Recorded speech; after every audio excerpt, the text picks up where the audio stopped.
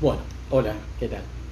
Bueno, vamos a hablar sobre el último tema que vamos a ver en esta cursada, que son dos concepciones respecto al conocimiento. Estas dos concepciones, es el último tema que tiene los apuntes impresos, los apuntes este, digitales, eh, son el empirismo y el racionalismo, el racionalismo y el empirismo, que son dos posturas de la filosofía moderna acerca del conocimiento. Racionalismo, empirismo.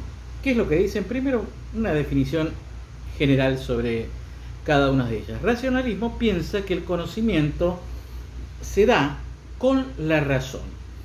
O sea, racionalista es aquella postura que dice que el conocimiento en última instancia se da por la razón.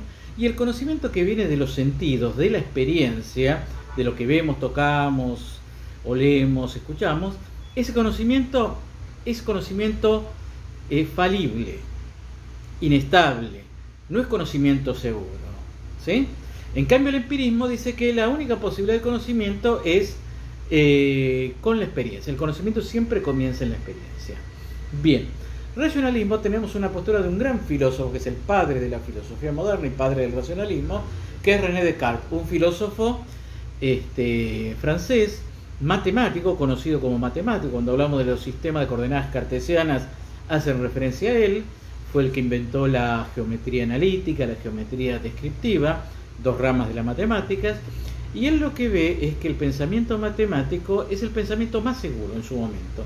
Estamos hablando del siglo XVII, eh, 1600, 1630 más o menos, él escribe una obra que se llama Discurso del Método. Y la idea sería esto, ¿no? Que el conocimiento, el único conocimiento, el único saber que es seguro es el matemático. Entonces todo conocimiento, todo otro conocimiento, toda otra ciencia tiene que arrancar del pensamiento matemático, ¿no?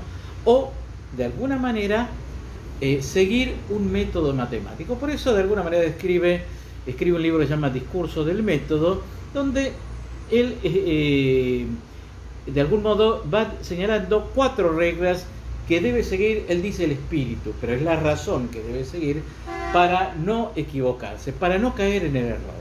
¿no? Este pensador dice, bueno, el, ser humano se ha equivocado mucho, ha cometido muchos errores en cuanto al conocimiento, lo que necesitamos es un método. ¿sí? Y el método matemático, si se quiere, o el método de las cuatro reglas, que son la regla de eh, la evidencia, la regla del análisis, la regla de la síntesis, la regla de la demostración, esto lo van a leer en el apunte, es muy claro, ¿no? Estas reglas, siguiendo estas reglas, el espíritu no se va a confundir, ¿no? Él también utiliza otro concepto importante, la duda metódica, la duda como método. O sea, duda de que dudo de todo. Duda del conocimiento que le dan los sentidos, ¿no? Los sentidos me engañan. Yo veo un tanque y de lejos parece un rectángulo, no parece un cilindro, ¿no? Veo un lápiz, lo veo de tal grosor, lo meto en un vaso de agua y bueno, ¿qué pasa? Veo que aumenta de tamaño. O sea, los sentidos de alguna manera me engañan. Esto dice, entonces hay que confiar, eh, no se puede confiar en los sentidos. ¿no?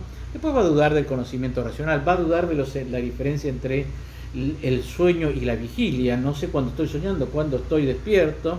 ¿no? Entonces él dice duda de todo, es una duda universal. Dice, bueno, ¿de qué no puedo dudar? Y de lo que no hay duda que estoy pensando, que estoy dudando. Dice, no hay duda de que estoy dudando.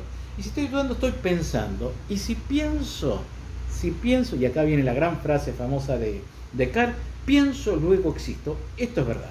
Acá llegué a una certeza, a un axioma del cual puedo partir. ¿no? Entonces, a partir de ahí, este, Descartes encuentra que la razón es la única que la lleva a la verdad. ¿no? Y a partir de ahí demuestra la existencia de Dios, por ejemplo, y él parte de que hay ciertas ideas innatas en eh, el espíritu, dice, ¿no? Uno diría en la mente hoy, ¿no? Hay ciertas ideas innatas con las cuales podríamos encontrar otras ideas secundarias y a partir de ahí elaborar el conocimiento. Esto de Carr, completen esta explicación breve, con algunos tips, eh, con la lectura. Vamos al empirismo.